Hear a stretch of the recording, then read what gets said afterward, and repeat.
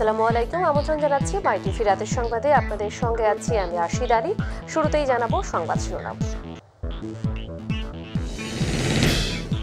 বাংলাদেশের ইতিহাস ও আওয়ামী লীগ একই সূত্রে গাথা প্রতিষ্ঠা বার্ষিকীর অনুষ্ঠানে বললেন প্রধানমন্ত্রী। গুম, খুন আর দুর্নীতির রাজনীতিতে বিশ্বাসী বিএনপি। সিলেটের স্বাভাবিক হচ্ছে বন্যা পরিস্থিতি কমতে শুরু করেছে পানি, খাদ্য ও বিশুদ্ধ পানির সংকট, ত্রাণ তৎপরতা অব্যাহত।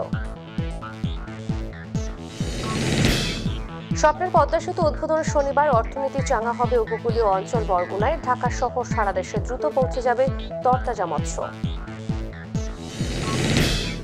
পনেরো বছর কন্ডেম সেলে থাকার পর আপিল বিভাগ থেকে খালাস পেলেন হত্যা মামলার দুই আসামি। সাজা কমিয়ে আরেকজনের যাবজ্জীবন।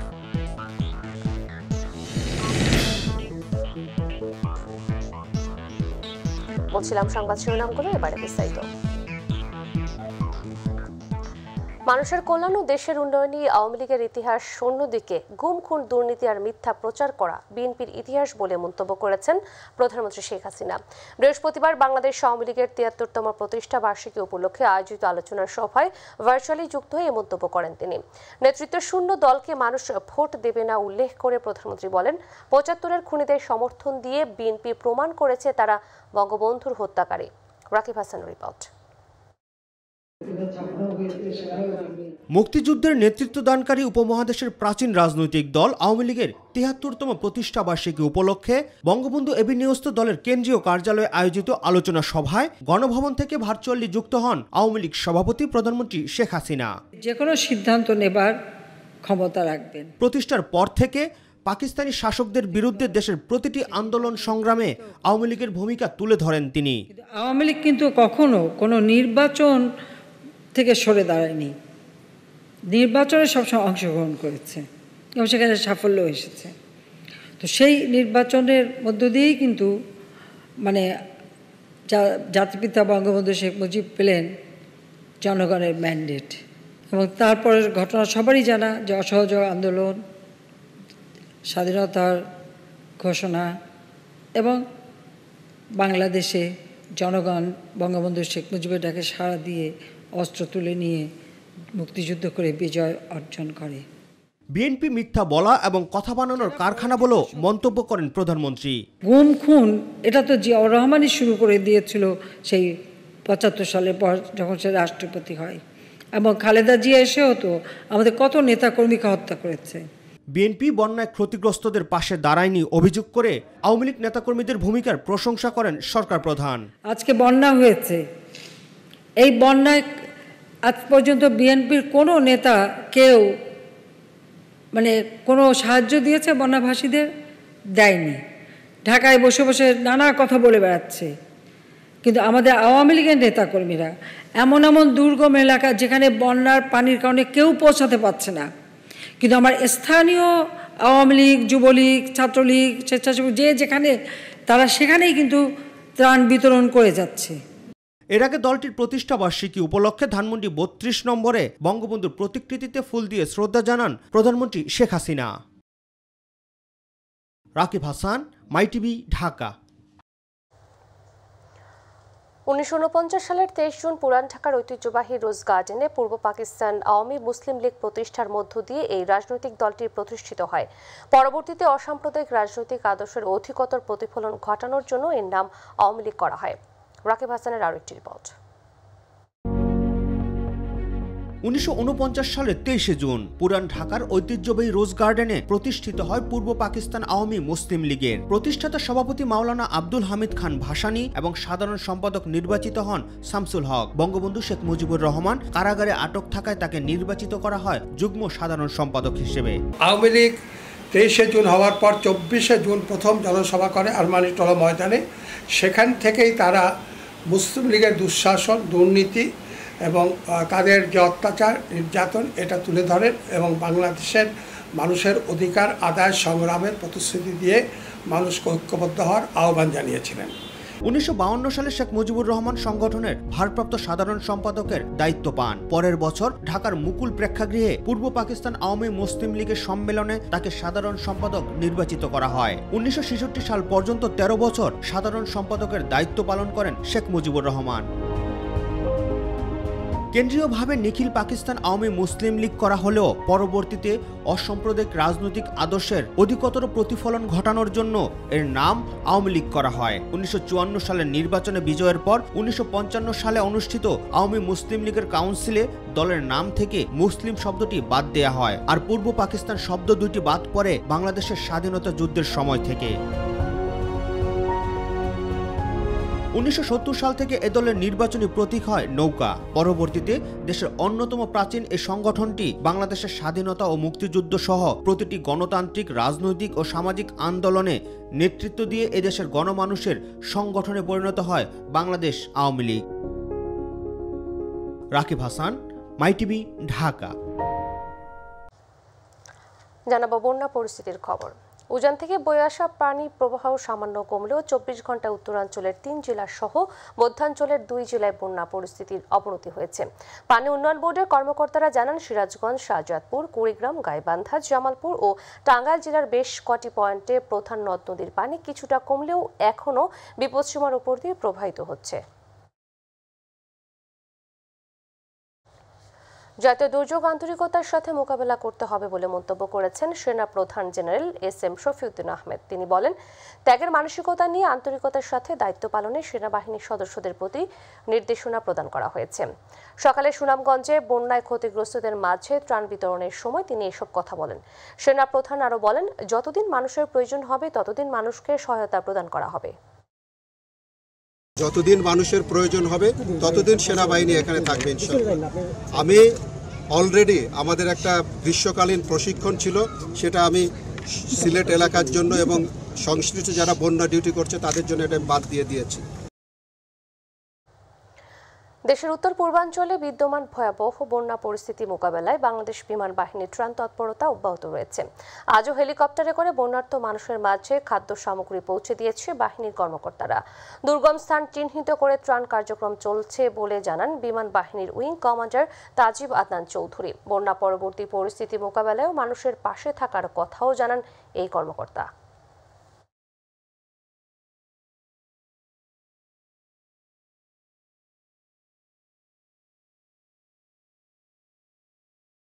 খালিয়াঝুরি তারপর বিশ্বনাথপুর, এইসব প্রত্যন্ত অঞ্চলে ত্রাণ দিয়েছি যেসব জায়গায় এখন পর্যন্ত রাস্তাঘাট বা অন্যান্য যে পরিবহনের যে ব্যবস্থা, তা বিদ্যমান নয়।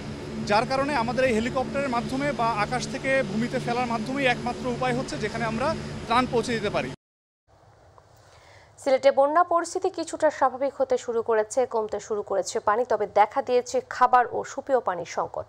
সরকারের পাশাপাশি ব্যক্তিগত উদ্যোগে অনেকে বাড়াচ্ছেন সহযোগিতার হাত।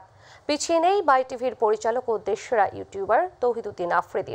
বৈরী আবহাওয়া উপেক্ষা করে তিনিও ছুটে গেছেন সিলেটে, বাড়িয়েছেন সহায়তার হাত। তাপস কর্মকার শিশুরের ক্যামেরায় সিলেট প্রতিনিধি মৃণালকান্তি দাসকে সাথে নিয়ে আরও জানাচ্ছেন আবু সাইদ অপু। বন্যা দুর্গত এলাকায় মানুষের পাশে এসে দাঁড়ালেন জনপ্রিয় ইউটিউবার ও মাইটিভির পরিচালক তহিদুদ্দিন আফ্রিদি। এ সময় তার সাথে ছিলেন সিলেট চেম্বার অব কমার্সের পরিচালক নাহিন। এরই ধারাবাহিকতায় প্রায় অর্ধ কোটি টাকার ত্রাণ সামগ্রী নিয়ে ঢাকা থেকে ছুটে আসেন তহিদুদ্দিন আফ্রিদি। ত্রাণ বিতরণ শেষে মানুষের ভালোবাসায় সিক্ত হন তিনি। আবেগে আপ্লুত হয়ে পড়েন।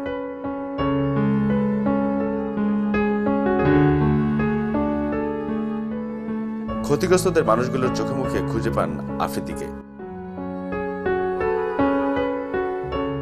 আমরা বাড়িঘর পানিয়ে নিচে গিয়া। ঘর দুয়ার মনে মনে কুটে উঠা ভালাই দিছে ভাঙ্গে বেড়ে তেড়ে বুঝছেন? ওদের আমরা কিছু খানি লিয়ে আসছে ইনশাল্লাহ আমরা খুব খুশি হয়েছি। আল্লাহর রহমতে আমরা লইয়া খানিকু রাখি আমরা এই গ্রামবাসী গরিব গুরবারে লইয়া আইছন। আলহামদুলিল্লাহ আমরা গ্রামবাসী সবাই খুশি আছি। বাড়িঘর ঘর বড় অস্তিত্ব আর আল্লাহর আপনার বালা।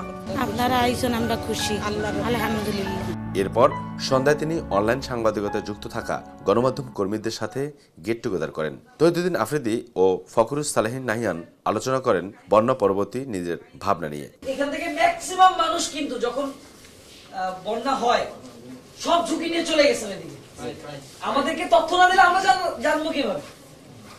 আমাদের যেসব টেলিভিশন আছে তারা তো তথ্য দিচ্ছে কিন্তু আমরা তো থাকি কোথায়? মোবাইলে তথ্যগুলো আপনারা আমাদেরকে দিচ্ছেন। আর ওই তথ্যর কারণে আজকে এত কোটি কোটি টাকার ত্রাণ ধরতেছে। আপনাদের সবাইকে আমি সেলুট জানাই। সিলেট থেকে আবু সেদপু মাই টিভি বন্যায় ক্ষতিগ্রস্ত সুনামগঞ্জ জেলার দুর্গম সীমান্তবর্তী অঞ্চলের অসহায় বানভাসী মানুষের কাছে ত্রাণ পৌঁছে দিল বর্ডার বাংলাদেশ বিজিবি। সকালে বিজিবি মহাপরিচালকের নির্দেশনায় বিজিবি সদর দপ্তর থেকে হেলিকপ্টার যুগে ত্রাণ নিয়ে সুনামগঞ্জের তাহিরপুর উপজেলার সীমান্তবর্তী এলাকায় বানভাসী মানুষের কাছে পৌঁছে দেওয়া হয়। জনগণের নিরাপত্তার বিষয়টি বিবেচনা করে হেলিকপ্টার থেকে সরাসরি না ফেলে টেকেরহাট ও চাঁদপুর এলাকার দুর্গত এক হাজার পরিবারকে এসব ত্রাণ সামগ্রী হস্তান্তর করা হয়েছে। এছাড়া সিলেট ব্যাটালিয়নের তত্ত্বাবধানে কোম্পানিগঞ্জ উপজেলার ভোলাগঞ্জ, বিয়ানীবাজার ব্যাটালিয়নের তত্ত্বাবধানে নয়াগ্রাম এবং কুড়িগ্রাম উপশাখা কর্তৃক ধরলা নদীর পার সংলগ্ন বন্যা কবলিত পঞ্চাশটি পরিবারের মাঝে ত্রাণ সামগ্রী বিতরণ করা হয়েছে। স্বপ্নের পদ্মা সেতুর উদ্বোধনের অপেক্ষায় দেশের দক্ষিণ প্রান্তের বঙ্গোপসাগরের কুল জেলা বরগুনাবাসী। এখানকার মৎস্যজীবীরা বলছেন, পদ্মা সেতু চালু হলে ঘুরে যাবে উপকূলের মানুষের ভাগ্যের চাকা। তাজা সব মাছ সরবরাহ করা যাবে ঢাকা সহ সারা দেশে। কম টাকায় মাছ কিনতে পারবে সবাই। বরগুনা উত্তর প্রতিনিধি শফিকুল ইসলাম স্বপনের পাঠানো তথ্যচিত্রে শামস্তাবৃজ উচ্ছ্বাসের রিপোর্ট। দেশের দ্বিতীয় সর্ববৃহৎ মৎস্য অবতরণ কেন্দ্র বরগুনার পাথরঘাটার মৎস্য উন্নয়ন কর্পোরেশন। এই মৎস্য অবতরণ কেন্দ্র থেকে মাওয়া পার হয়ে ঢাকাসহ দেশের চল্লিশটি জেলায় ইলিশসহ বিভিন্ন মাছ সরবরাহ করে আরতদার ও পাইকাররা। সংশ্লিষ্টরা বলছে একসময় পদ্মার ফেরি পার হতে দুই থেকে তিন দিন সময় লাগতো যার কারণে নষ্ট হতো অনেক মাছ। সেতু উদ্বোধনের পর ছয় ঘণ্টার মধ্যেই ঢাকায় পৌঁছে যাবে মাছ কমবে পরিবহন খরচ। পদ্মা সেতু চালু হইলে পুষে যাই পুষে যাইতে পারলে হলে মাছটা হলো তাজা মাছ যাই পচলে এখন দুই দিনের পর ঢাকা যাইতে হইবে না? পদ্মা সেতু আপনার এখন চালু হইলে আপনার আমাদের মাছটা তাড়াতাড়ি পৌঁছে যাইবে। আড়তদাররা বলছে প্যাকিং ও পরিবহন খরচ কমলে কম টাকায় মাছ বিক্রি করতে পারবেন তারা। জেলেরাও ন্যায্য মূল্য পাবে। এখানে আড়তদাররাও ন্যায্য মূল্য পাবে পাইকাররাও ন্যায্য মূল্য পাবে। আমাদের দক্ষিণ অঞ্চলের জন্য প্রত্যেকটা মানুষের জন্য আর আমাদের ভালো হইতে আছে। পরিবহন পথ সহজ হওয়ায় পাথরঘাটা মৎস্য অবতরণ কেন্দ্র থেকে বিপুল পরিমাণ অর্থ রাজস্ব পাবে সরকার বলে জানিয়েছেন এই কর্মকর্তা। মাছে যখন দাম ভালো পাবেন তখন তারা এখানে অবতরণ করবেন। তো মাছের অবতরণের পরিমাণ যখন বেড়ে যাবে স্বাভাবিকভাবেই রাজস্ব আয় তখন বৃদ্ধি পাবে। জনপ্রতিনিধি ও সচেতন মহল বলছে পাঁচ ছয় ঘন্টায় ঢাকা যাওয়ার কথা ভাবতেও পারতেন না তারা। সেই স্বপ্ন বাস্তবায়নে রূপ দিয়েছে প্রধানমন্ত্রী শেখ হাসিনা। না নিজের খাওন খেয়ে পরন পরে নিজের বাড়িতে থেকে তারা উপার্জন করতে পারবে। কিছুকে বৃদ্ধাঙ্গুলি দেখিয়ে মাননীয় প্রধানমন্ত্রী আজকের আমাদের স্বপ্নের পদ্মা সেতু তিনি বাস্তবায়ন করেছেন। দক্ষিণ অঞ্চলে যত কৃষক আছে আমরা মালামাল যাতায়াতের জন্য টাকা নিতে পারব আনতে পারব আমাদের এই দক্ষিণ পশ্চিম অঞ্চলের একুশটি জেলায় যারা অবস্থান করে আমাদের প্রত্যেকের ভাগ্যের পরিবর্তন হবে। বরগুনায় দেড় লাখ জেলে সহ মৎস্য খাতের উপর নির্ভরশীল প্রায় ছয় লাখ মানুষ। শামস্তা ব্রিজ উচ্ছ্বাস মাই টিভি নিউজ ডেস্ক। এবারে অন্যান্য প্রসঙ্গ। পনেরো বছর কন্ডেম সেলে থাকার পর আপিল বিভাগ থেকে খালাসের নির্দেশ পেলেন রাজশাহীর গোদাগাড়িতে মা মেয়ে হত্যা মামলার আসামি ইসমাইল ও সোনাদি। প্রধান বিচারপতি হাসান ফয়জ সিদ্দিকের নেতৃত্বাধীন তিন সদস্যের আপিল বিভাগ এ রায় দেন। তাদের দ্রুত কন্ডেম সেল থেকে বের করার নির্দেশ দেওয়া হয়েছে। রায়ের সাজা কমিয়ে যাবজ্জীবন দেওয়া হয়েছে মামলার আরেক আসামি তরিকুল ইসলামকে। হত্যার ঘটনায় করা মামলায় দু হাজার আট সালে ইসমাইল সোনাদি ও তরিকুলকে মৃত্যুদণ্ড দিয়েছিল নিম্ন আদালত। দেশে আবারও বাড়ছে করোনার সংক্রমণ। গত চব্বিশ ঘন্টায় এই ভাইরাসে আক্রান্ত রোগী শনাক্ত হয়েছেন এক হাজার তিনশো উনিশ জন।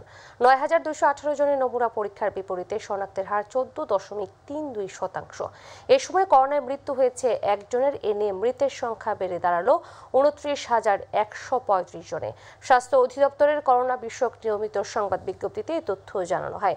স্বাস্থ্য অধিদপ্তর জানায়, গত চব্বিশ ঘন্টায় করোনা থেকে সুস্থ হয়েছেন একশো সাতাশ জন। এ পর্যন্ত সুস্থ হয়েছেন উনিশ লাখ ছয় হাজার দুইশো বত্রিশ জন। মানিকগঞ্জ জেলার সিংগাইরের চাঞ্চল্যকর গর্ভবতী জুলেখা হত্যা মামলার মৃত্যুদণ্ডপ্রাপ্ত আসামি সিরাজুলকে উনিশ বছর পর নারায়ণগঞ্জের চর সৈয়দপুর এলাকা থেকে গ্রেফতার করেছে র্যাবচার। সকালে কারওয়ান বাজার মিডিয়া সেন্টারে র্যাবচারের অধিনায়ক মোজাম্মেল হক জানান, গোপন সংবাদের ভিত্তিতে র্যাবচারের একটি আভিযানিক দল রাতে নারায়ণগঞ্জের চর সৈয়দপুর এলাকায় সারাশি অভিযান পরিচালনা করে মৃত্যুদণ্ডপ্রাপ্ত সিরাজুলকে গ্রেফতার করে। গ্রেফতারকৃতকে জিজ্ঞাসাবাদ করার পর সে ঘটনার সাথে জড়িত থাকার কথা স্বীকার করে। আজ থেকে শুরু হলো চতুর্থ ঢাকা কমার্শিয়াল অটোমেটিভ শো। মেলার গোল্ড স্পন্সর নিটল মোটরস টাকা, টাটা গাড়িতে দিচ্ছে বিশাল ডিসকাউন্ট এছাড়া তিন দিন ব্যাপী মেলা থেকে গাড়ি কিনলে গ্রাহকরা পাবেন দুই লক্ষ টাকা ডিসকাউন্ট পাশাপাশি রয়েছে ফ্রি মোটরসাইকেল এবং আকর্ষণীয় পুরস্কার। মেলায় ফিতা কেটে নিটল টাটার স্টল উদ্বোধন করেন নিটল নিলয় গ্রুপের চেয়ারম্যান আব্দুল মাতলুব আহমদ। তিনি জানান, টাটার গাড়িগুলো অত্যন্ত উন্নত মানের যা মেলায় আগত ক্রেতাদের আকৃষ্ট করবে। এ সময় উপস্থিত ছিলেন নিটল মোটরস লিমিটেডের sales and marketing CEO Mohammad Tanvir Shahid, Nitol মোটরসের product president B M Murad Hossain সহ অন্যান্য কর্মকর্তারা। আমি মনে করি এরকম মেলা থাকলে বাংলাদেশে যারা বসবাস করেন, তারা পৃথিবীর বিভিন্ন গাড়ি দেখতে পাবেন মোবাইল ফিনান্সিয়াল সার্ভিস প্রদানকারী প্রতিষ্ঠান উপায়ের মাধ্যমে কর্মীদের বেতন প্রদান করবে দেশের অন্যতম শিল্প প্রতিষ্ঠান প্রাণ আরএফএল গ্রুপ। এখন থেকে প্রাণ আরএফএল গ্রুপের কর্মীরা উপায় অ্যাকাউন্টের মাধ্যমে তাদের বেতন পাবেন। বৃহস্পতিবার রাজধানীর সিক্স সিজনস হোটেলে এ উপলক্ষে প্রতিষ্ঠান দুটির মধ্যে চুক্তি স্বাক্ষরিত হয়। এ সময় উপস্থিত ছিলেন উপায়ের ব্যবস্থাপনা পরিচালক ও সিইও রেজল হোসেন। প্রাণ আরএফএল গ্রুপের chief financial officer Uzma Chowdhury সহ দুই প্রতিষ্ঠানের শীর্ষ কর্মকর্তারা। প্রাণ আরএফএল এর কর্মীরা অ্যাকাউন্টের মাধ্যমে বেতন গ্রহণের পাশাপাশি ফান্ড ট্রান্সফার, মোবাইল রিচার্জ সহ বেশ কিছু সেবা পাবেন। মাধ্যমিক পরীক্ষায় উত্তীর্ণ দৃষ্টি প্রতিবন্ধী শিক্ষার্থীদের মাঝে ব্রেল বই বিতরণ করেছে বসুন্ধরা খাতা।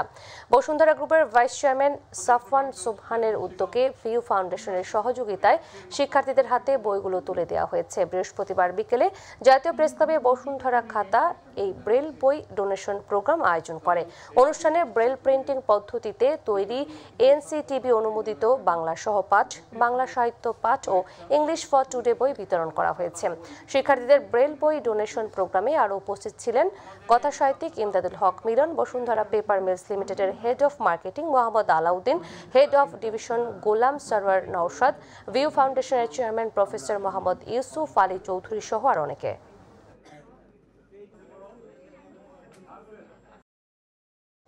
প্রবাসের সংবাদ।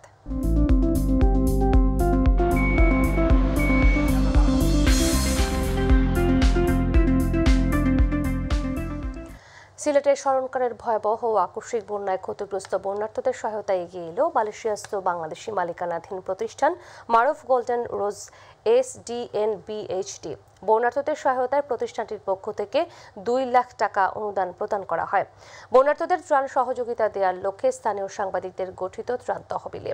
পাশাপাশি মালয়েশিয়ার বেহুদা excellent S D N BHD এর এমডি শওকত হোসেন পঞ্চাশ হাজার টাকা অনুদান প্রদান করেন।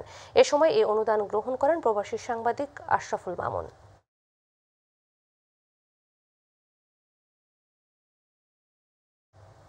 আন্তর্জাতিক সংবাদ।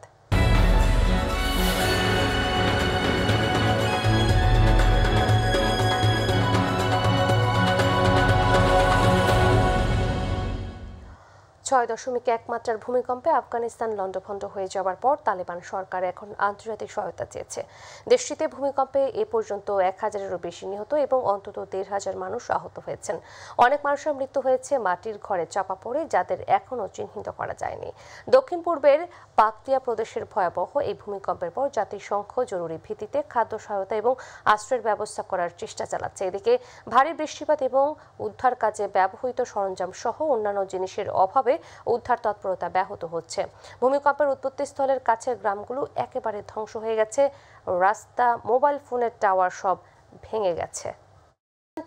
সিরিজের দ্বিতীয় শেষ টেস্টের শুক্রবার স্বাগতিক ওয়েস্ট ইন্ডিজের বিপক্ষে মাঠে নামবে বাংলাদেশ। প্রথম টেস্টে ক্যারোবিয়াদের কাছে হেরে ইতিমধ্যে সিরিজে এক শূন্য ব্যবধানে পিছিয়ে আছে টাইগাররা। আর ভালো ক্রিকেট খেলতে না পারায় আত্মবিশ্বাসের দিকে দিয়েও বাংলাদেশ পিছিয়ে আছে। একাদেশেও পরিবর্তন আনার ইঙ্গিত দিয়েছে টিম ম্যানেজমেন্ট। অফ ফর্মে থাকা মুমিনুল হক, নাজমুল হোসেন শান্তর পরিবর্তে খেলতে পারেন এনামুল হক বিজয়। আর পেস বিভাগে মুস্তাফিজুর রহমানের পরিবর্তে আরেক পেসার শরীফুল ইসলামের খেলার সম্ভাবনা রয়েছে। আগের ভুল শুধরে এই টেস্টে ভালো করাই বাংলাদেশের মূল লক্ষ্য। ডারুন সামি জাতীয় ক্রিকেট স্টেডিয়ামে বাংলাদেশ সময় রাত আটটায় শুরু হবে ম্যাচটি।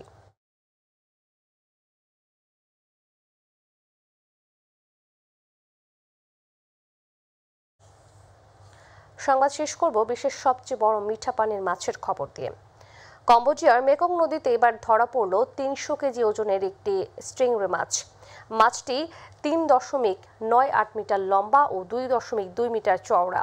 বিশেষজ্ঞদের ভাষ্যমতে বিশ্বে এটি সবচেয়ে বিশাল স্বাদু বা মিঠা পানির মাছ। বিস্তারিত শামস তাবরিজ উচ্ছ্বাসের রিপোর্টে। বিশ্বের সবচেয়ে বড় মিঠা পানির মাছটি ধরা পড়ল কম্বোডিয়ায়। এর আগে দুই হাজার পাঁচ সালে থাইল্যান্ডে ধরা পড়ে দুশো কেজি ওজনের একটি বৃহদাকার ক্যাটফিশ। কিন্তু এবার স্টিম রেসেই অতীতের রেকর্ড ভেঙে দিয়েছে। মেকং জীববৈচিত্র্যে সমৃদ্ধ একটি নদী, কিন্তু অতিরিক্ত মাছ ধরা, বাঁধ ও দূষণ নদীটির ইকোনমিস্টকে ভেঙে ফেলেছে। তিব্বত মালভূমি থেকে চীন, মিয়ানমার, থাইল্যান্ড, লাওয়াস, কম্বোডিয়া ও ভিয়েতনামের ওপর দিয়ে প্রবাহিত হয়েছে এই নদীটি। ইউএসইড পরিচালিত ওয়ান্ডার্স অব দ্য মেকং সংরক্ষণ প্রকল্পের প্রধান বিজ্ঞানী জেব হোগান এই মাছের সন্ধান পাওয়াকে দারুণ খবর বলে মনে করছেন। এই মাছটি খুঁজে পাওয়া এবং নথি করা অসাধারণ ব্যাপার উল্লেখ করে তিনি বলেন কারণ এটি মেকংয়ের ঘটেছে। এমন একটি নদী যা বর্তমানে অনেক চ্যালেঞ্জের সম্মুখীন। তিনি আরও বলেন, ছয়টি মহাদেশের নদী হৃদে বৃহতাকার মাছ নিয়ে ২০ বছরের গবেষণায় পাওয়া এটি সবচেয়ে বড় স্বাদুপানির মাছ। আর এই মাছ থেকে এখানে পাওয়া অর্থ হচ্ছে মেকং নদীতে এই অংশে এখনও জীববৈচিত্র্যের জন্য উপযোগী। শামস্তা ব্রিজ উচ্ছ্বাস, মাই টিভি। সংবাদের শেষ প্রান্তে আমরা যাবার আগে আরও একবার জানিয়ে দিচ্ছি সংবাদ শিরোনাম। বাংলাদেশের ইতিহাস ও আওয়ামী লীগ একই সূত্রে গাথা প্রতিষ্ঠা বার্ষিকীর অনুষ্ঠানে বললেন প্রধানমন্ত্রী। গুম, খুন আর দুর্নীতির রাজনীতিতে বিশ্বাসী বিএনপি। সিলেটের স্বাভাবিক হচ্ছে বন্যা পরিস্থিতি, কমতে শুরু করেছে পানি, খাদ্য ও বিশুদ্ধ পানির সংকট, ত্রাণ তৎপরতা অব্যাহত। স্বপ্নের পদ্মা সেতু উদ্বোধন শনিবার, অর্থনীতি চাঙ্গা হবে উপকূলীয় অঞ্চল বরগুনায়, ঢাকা সহ সারা দেশে দ্রুত পৌঁছে যাবে তরতাজা মৎস্য। পনেরো বছর কন্ডেম সেলে থাকার পর আপিল বিভাগ থেকে খালাস পেলেন হত্যা মামলার দুই আসামি, সাজা কমিয়ে আরেকজনের যাবজ্জীবন